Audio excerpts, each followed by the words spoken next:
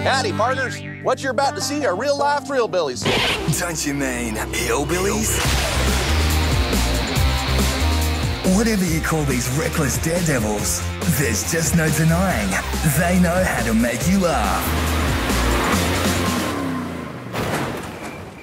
If it's dangerous, stupid, or damn near impossible, then it sounds like a job for the Thrillbillies. Only on Fuel TV.